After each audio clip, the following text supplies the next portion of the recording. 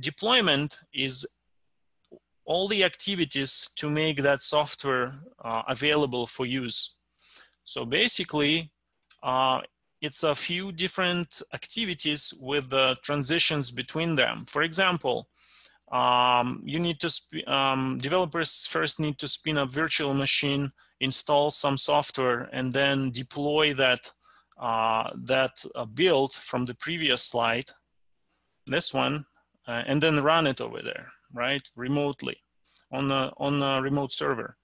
Because uh, you can compare this um, application as, for example, before you can open a dot doc file, uh, which is Microsoft Word or Excel, um, any of those files, you need to install uh, operating system, first of all, on your computer. And then after that, you will need to install the Microsoft Office package, which actually has some other dependencies.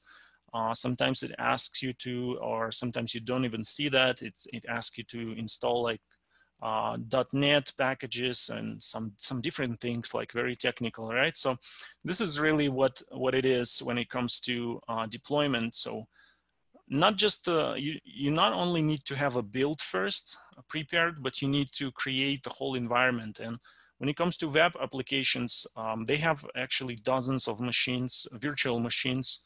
Uh, used to be real machines, now it's mostly cloud and virtual machines and they need to spin them up, uh, pay for them through uh, Amazon is one of the largest providers of that.